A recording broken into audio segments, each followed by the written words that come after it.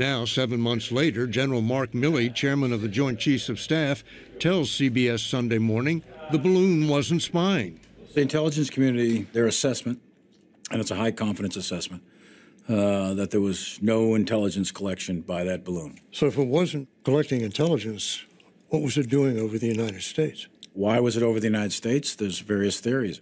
The balloon had been headed toward Hawaii, but the winds at 60,000 feet apparently took over. At altitude, those winds are very high.